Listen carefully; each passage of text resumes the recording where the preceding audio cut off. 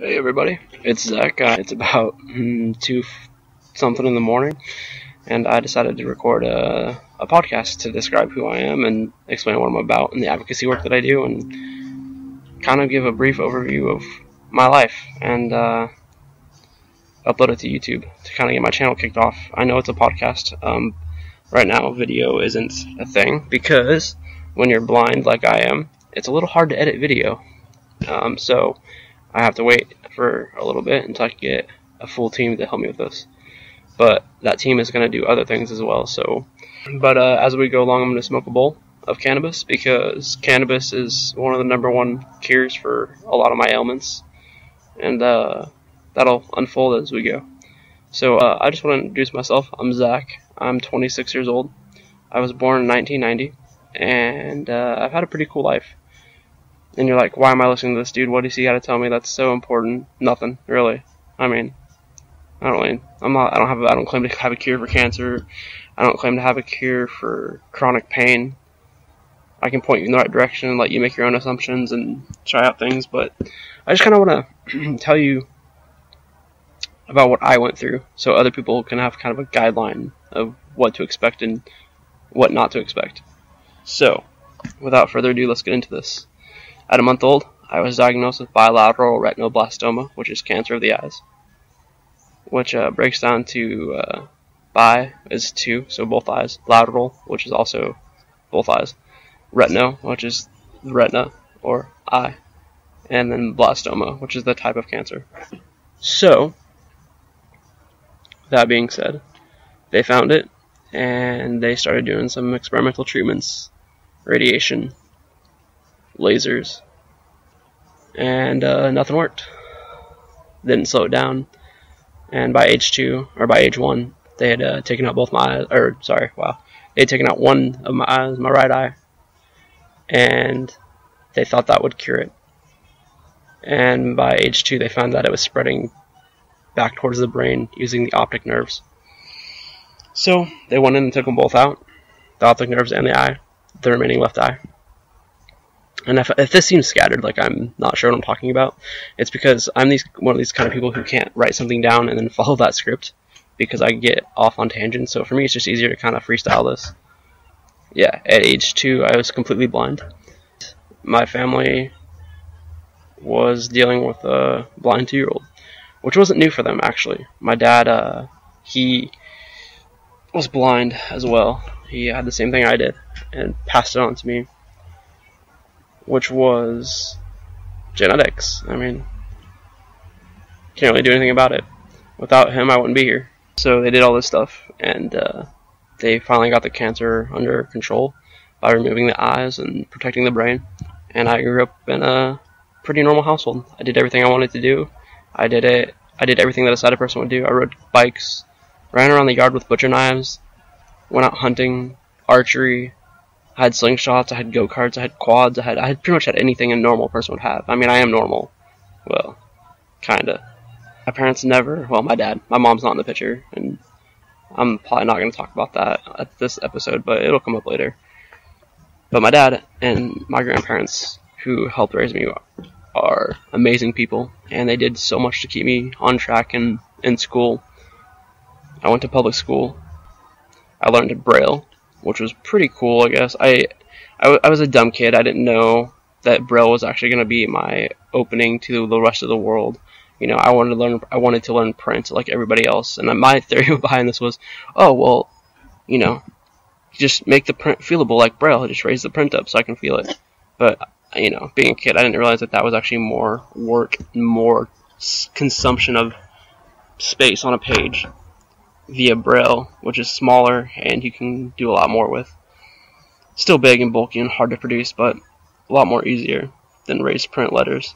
Ah, sorry, tangent. Anyway, so uh, growing up in this environment of being visually impaired, or well, in my case, completely blind. So let me break those down for you. Let me break those terms down.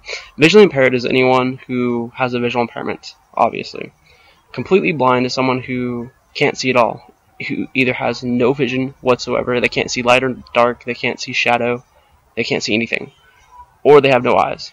In my case, I'm no eyes whatsoever. I do have eyes, but they're prosthetics. They're made of a, a plastic. acrylic, and totally blind. Um, and so there are things that you do. Uh, you learn Braille. Um, they teach you how to use a white cane, and they teach you how to wear sunglasses. No, I'm just kidding. Most, it, there's there's actually health reasons for that. Um, for me, it's to keep dust and debris out of my eyes because my eyes don't have natural lubrication like most people's do. So it's really easy for them to get irritated.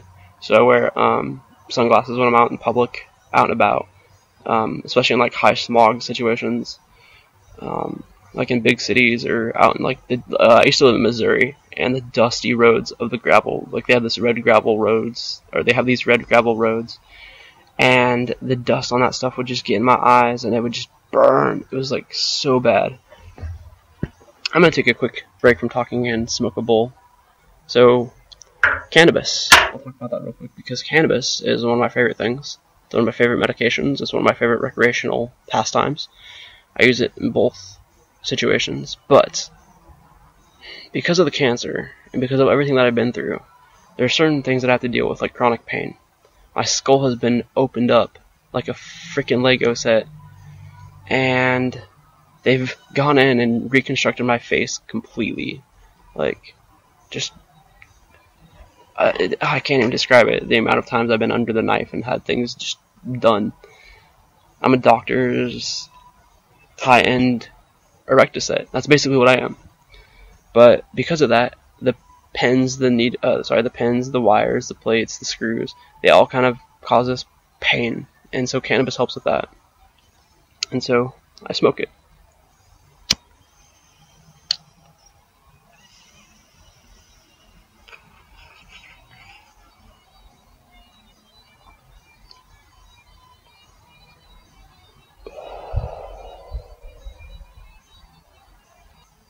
I feel like I'm talking to myself, which I mean, I, I essentially I am, but I know that there are listeners out there that will hear this, so it's not too weird for me. But I just have something playing in the background. And what I'm to do um, for the next one, I think, is I'm to actually break my guitar out, find a way to play it so that it's quiet enough that's not to disrupt everybody,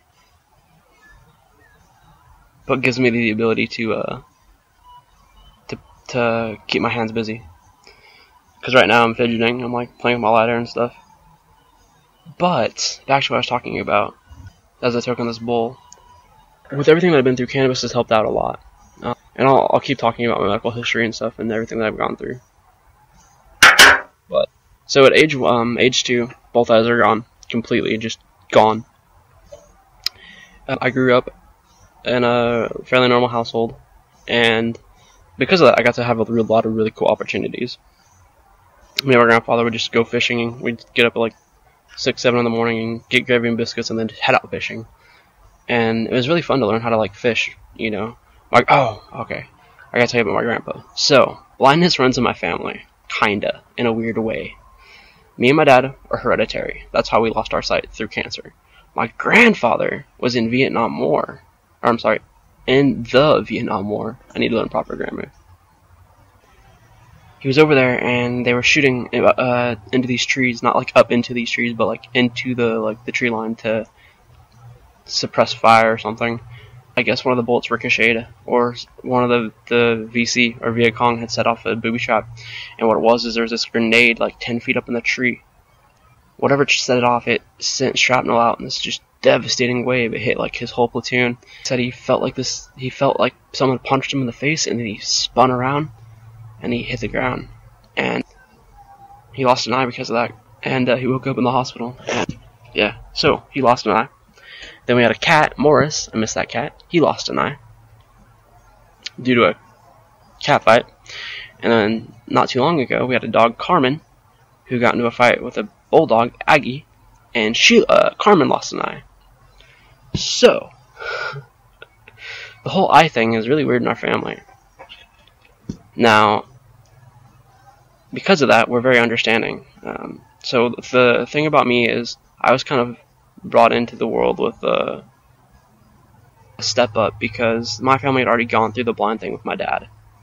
So they knew, you know, they knew pretty much what needed to be done and how it needed to be dealt with. Uh,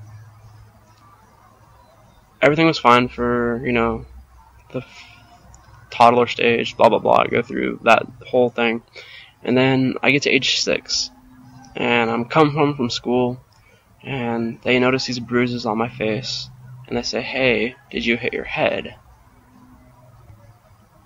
Had, but not where the bruises were.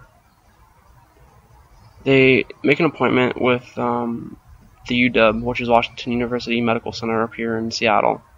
They take me to my dad's doctor, Dr. Kalina. Really cool dude. Really sweet guy. I don't know if he's still practicing because when I saw him, he was, I want to say in his like early 50s maybe. Um, so he's probably retired by now. But I know that he had a great impact on that place and on me. They found this tumor. I'm summarizing. I'll go into this all I'll break it down stage by stage over the next few episodes, I guess. But I just want to give you guys an overall scenario. They break, uh, they uh, they do some scans and they find this huge uh, tumor just at the base of my skull, and it spread out. It was sending these tentacles into uh, my brain, like it was like wrapping around the brain. It was eating into the bone, and it was just feeding off these resources and growing they weren't giving me, they gave me three months to live. Which uh, I didn't know at the time. I can't stress this enough. During this entire process, I was never treated like a kid by my parents, by my dad, my grandma, my grandpa. I was always treated, I was always kept up to date for the most part, and I was always allowed to sit in on these appointments. And I really appreciate that because I wasn't lied to for the most part. I mean, they didn't tell me I was gonna had three months to live, but I kind of understand why they didn't tell me that even though it irritates me. I understand why. I was always in these appointments, and I was always really involved with everything that was going on. I mean, it was happening to me, so I guess they wanted me to see what everything was going on. So they put me on chemotherapy, and that sucked, as it does. I don't. I, I've I've never met anyone who's gone through chemotherapy and said that they had a good time on it. Uh, chemotherapy for about a year, and, or for about a half a year, and uh, I dropped out of school. Well, I didn't drop out. I was forced to quit two weeks on, or no, a week of chemo, two weeks off, a week of chemo, two weeks off for a half a year. And uh, Halloween, the week before Halloween, I was, uh, they said, okay, you're going in for surgery. And I was like, I'll be out trick or treating, don't worry. and uh, they do a 16 hour surgery on me. They remove the tumor. Good, good to go. Uh, Halloween, I made a crap ton of candy. I I was out trick-or-treating. I believe I went as Frankenstein or something. I incorporated the big, huge scar with 182 staples across the top. So that was fun. I danced with tumors on and off over the next few years until about age 14. That's when the big one hit. This tumor starts growing around my trigeminal nerve, and I wake up and my face is swollen and I'm in a lot of pain and I don't want to go to school. I'm arguing about school. I didn't like school to begin with, but this was just the nail in the coffin. I wasn't gonna go sit through class and be in this bunch of pain. And I had to like, I literally had to like scream and yell at my dad, like, Dad, you don't understand how bad this pain is. It's nothing I want to deal with. It's, it's crazy. So over the next like eight to 12 months, we figured out that this tumor had wrapped around the nerve and that it's suppressing it and it's causing this trigeminal, trigeminal neuralgia, which is chronic nerve pain it goes from my right ear across to my nose, and it's just this, it's like razor blades being dug in under my skin and then heated up and then violently wrenched out over and over and over and over. So this, this nerve pain is bad, it does what it does, and I, they put me on all these things, steroids, which made me suicidal, anti-seizure medicines, which made me angry. I pulled a knife on my dad. Like, I, and I'm a very cool, mellow person. I would never intentionally pull a knife on someone unless they were really like threatening me. And my dad wasn't. He was trying to like talk me down out of whatever, and I just reached over and grabbed this knife. I was like, if you don't back up, I don't know what I'm gonna do. But and next thing I know, I got this knife kicked out of my hand. uh, two blind guys fighting was hilarious. Uh, it it kind of screwed with my life for a while, and uh, finally I get on these pills and Come to find out they're used for heroin addicts coming down off heroin, and they're a strong opiate. And methadone is the name, but methadone worked. I'd been on Oxycontin, Vicodin, Percocet, Dilaudid, any generic of those, all the opiates you could think of, and that they weren't working. They weren't touching it. They, I mean, I would sit there and take, you know, a, my allotted dose and go to school and take another dose, and it just nothing was working. I was sleeping through school. I was feeling like crap. But finally, this methadone worked out. And I was on it for, oh, man. See, we got methadone at 14. So I got off methadone at like age 22. So 8, 12, 10 years, like that, something like that. And it started screwing with my, um, I ended up getting my gallbladder taken out about two years ago. I was just, I had to get off of it. It had, was destroying my body from the inside out. It, it helped, but I came up back up. I was living in Missouri at the time, and I came back up to Washington when I graduated and turned 18. And I got on medical cannabis, and it it helped. It did way more than the, the Dilaudid, or I'm sorry, the methadone did. And so I slowly coming down off the opiates and switched over to cannabis and did all this great stuff with it. I can't describe. I mean, I can't. I can go on for days with adjectives, but until you're actually in this situation, you have no idea. Like, stub your toe and then just smoke a joint, and just watch the pain go away. Like, if if you could do that, like, and like, okay, so stubbing your toe, the pain goes away for a while, I guess, after a while. But like, if you could like stub your toe and then smoke a joint instantly after that, and have the effects kick in right away, it's exactly what it does. It, it takes the pain, it makes it go away.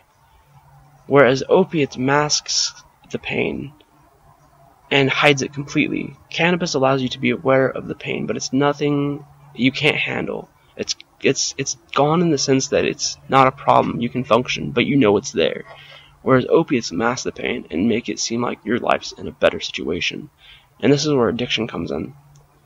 Because addiction makes when you're in that kind of situation of the of the chronic pain and wanting to get away from the pain, you'll do anything to do that. And the opiates offer this quality of life that is ten times better than what you were what you were in with the pain. But it's not hundred percent of what you used to be before the pain. So where people see you as being this bright, intelligent person you go on these opiates, and yes, you're bright and intelligent, but you're also under the control of chemicals, and your mind changes. You you your inhibition or your your ambitions change. You want to do different things than what you wanted to do. Like I wanted to be a lawyer, and then I got on opiates, and I didn't want to do that. I didn't want to do any of that. I wanted to be a psychologist, but I moved away from that because it was opiates were great and they gave me a functioning life, but they also made it so that my mind was locked off to me in certain ways. And cannabis allowed that to be reversed. I was able to do way more with cannabis. I was able to sit down and be a better musician, be a better writer, be a better communicator. And I didn't want to sit alone with headphones in 24 7, not saying a word to anybody, to being a social person. And that, that really gave me back part of my life. Um, I still have to take opiates because, as much as cannabis does help, it isn't socially acceptable to just bust out a joint in the middle of a doctor's office or in the middle of class, whereas it's easier to get away with that by popping a pill or whatever and I know some of you who do use cannabis are going to say, well, why don't you use medibles or whatever? And the thing with medibles is my metabolism handles them really weirdly. I ate a 50 milligram brownie, didn't do crap. Then two days later, I ate a 10 milligram candy bar, chew. Like a, uh, they're like kind of like milk duds. Milk duds, if you want to sponsor me, that'd be great. Sorry, uh, that 10 gram chew just blew me away. So it's really weird, and I know the source of both of those candies, and they they were definitely dosed the way they say they were. So that's kind of my life in a nutshell. Cancer, cancer, tumors, tumors, tumors, tumors, chronic pain, chronic pain, stomach pain, ADD. that's the medical side of it. Now, the actual living inside. I'm a writer. I have books in the works. I write songs. I do lyrics. I play guitar. I play piano. Love the outdoors, even though I don't do as much of it as I'd like. I love being outside, which is why this is being recorded outside at 2:30 in the morning. 45 degree weather. So, good times. So, I'm gonna smoke a quick toke, and then I'll get back to talking. I actually originally came out here to just smoke a bowl, and then I was like, you know what, let's turn it into a recording.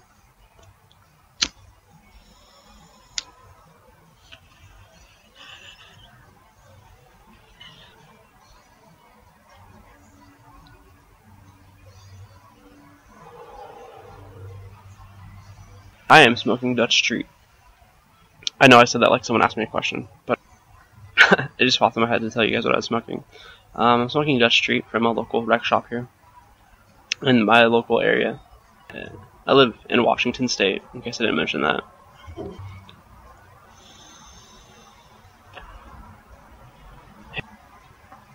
So the weed is kind of I don't know. I was buying from dispensaries before we got rec shops here, and I I really miss dispensaries. They had really good stuff, and they say here the stuff's good, but it's stale. It tastes like it's been sitting on the shelf for eight months. Whereas the stuff at the dispensary, you know, it was cured within a month, and you were smoking it. That was pretty awesome.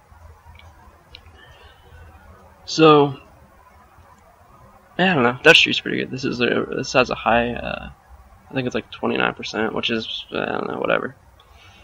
I've had stuff that was way better, but like I said, I can't be picky. Considering I walked in and said, "Hey, what's the cheapest stuff you have?"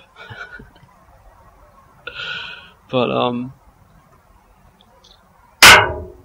I just I hate buying from rec stores. It's just I don't know if you guys can hear the frogs or not, but yeah, there's like frogs and traffic in the background. I'm smoking out of a glass piece, a little pipe. I've always loved uh, pipes. Like they're pretty cool.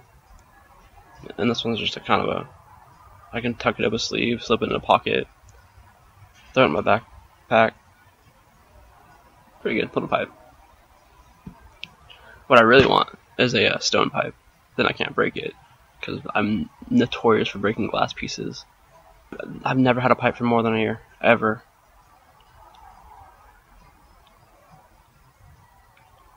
That's where I'm at with that. I've had bubblers, I've had bongs, I've I had a bong for less than 24 hours. It's sad. It's shattered. I had this awesome Sherlock that I bought in like nah, I had it a good while, and it was a long like I call them cheech pipes because they're really long, like just long pipes with a big bowl, and um, it was thin glass, and that was my mistake and I was loading it and it slipped off the table and shattered. And what was cool was the bowl was still intact, so I was able to save the weed, which was out of out of a disaster was I guess the silver lining. It just I mean it sent glass all over the kitchen. I had to clean that up. And being blind and cleaning up glass is, is like uh, it's slow because you have to be very careful not to like cut yourself and like when you're because you have to use your hand to like feel around for the glass. So if you put your hand down too quick or move too fast, you're gonna cut yourself. I was like a cop going into a pocket on a drug dealer. That's what it was like.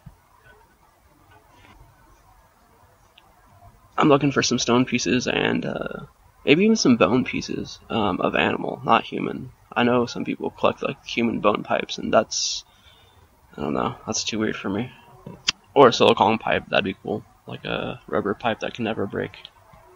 But I guess you'd have to find a way to make it with like fire resistant material. And would that give off like chemicals if you burned it? Or if you like heated it up over and over? it's been fun guys. This is just to kind of get something up on my channel, to kind of introduce myself and talk about who I am and what I am. Well, I don't know, talk about what I'm about, but basically cannabis advocacy, psilocybin advocacy, and promoting the crap out of like, keeping ourselves as individuals as free as possible against control of what should be our right to medicine and quality of life and not have labels put on us like addiction, cannabis user. So yeah, peace.